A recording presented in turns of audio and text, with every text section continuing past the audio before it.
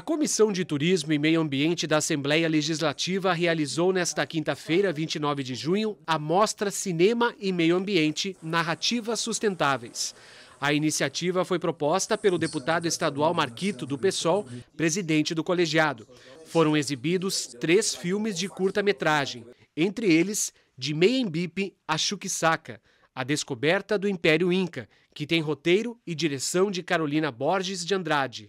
O filme narra a aventura do navegador espanhol Aleixo Garcia em 1516 pela região de Meembipe, atual ilha de Santa Catarina. Após um naufrágio, Aleixo teria convencido indígenas a caminhar 3 mil quilômetros até o território Inca, na Cordilheira dos Andes. O curta foi baseado na pesquisa da jornalista Rosana Bond.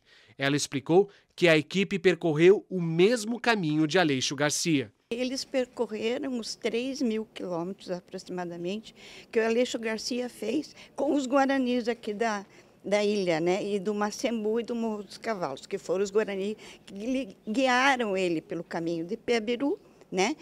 Então, saindo aqui da ilha, que é Membipe, e foram até Chuquisaca, que é Alto Peru, antigo Alto Peru, atual Bolívia, Cordilheira dos Andes bolivianos, onde já existia o Império Inca.